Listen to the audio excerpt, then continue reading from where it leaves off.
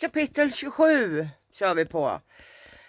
Sagan, boken, novellen om Peter och döden. Om man har mått riktigt fruktansvärt jättedåligt under en period och sen känner att man börjar må lite bättre kan det hända att man förtar sig. Det var väl ungefär det som hände med Peter.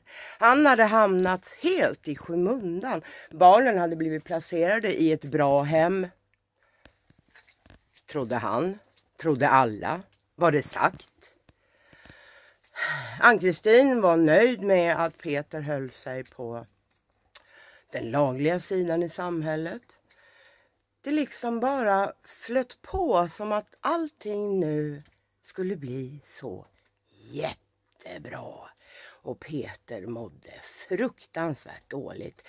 Men han hade tvingat sig att sätta sig vid symaskinen flera gånger för att fortsätta sy kläder. Han hade inte mycket pengar. Han gick faktiskt i ufflådor och snodde kläder som han sen klippte ner för att sy dockkläder. Peter mådde bra av att sy. Han fick någonting annat att tänka på. För när man hela tiden planerar sitt frånfälle och sen kommer på eller får höra av någon att sluta planera ditt eget frånfälle. Och för er som undrar vad frånfälle betyder så betyder det död. Så för att sluta planera sin egen död hade Peter fått tips om att börja fortsätta med sin hobby eller börja med någon ny. Så därför sydde han och sydde och sydde och sydde och sydde för att slippa tänka på allt elände.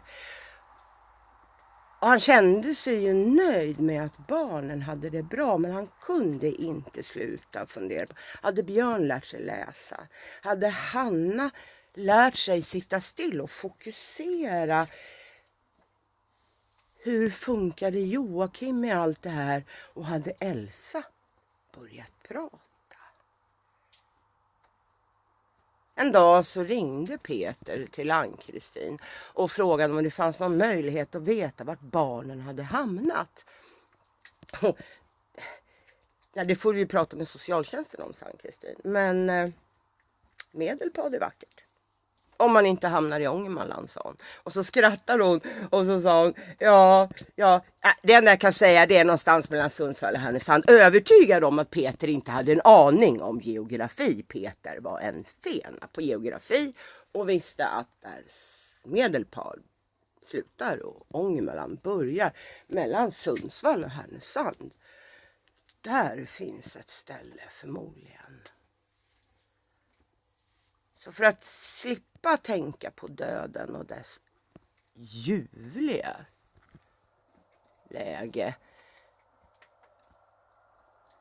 så bestämde han sig för att ta reda på var barnen hade hamnat och hur barnen hade det. Han, Peter, var ju övertygad om att barnen säkert hade det underbart. För de hade ju hamnat i ett sånt bra hem. Ur askan i elden. poprzednich faliach.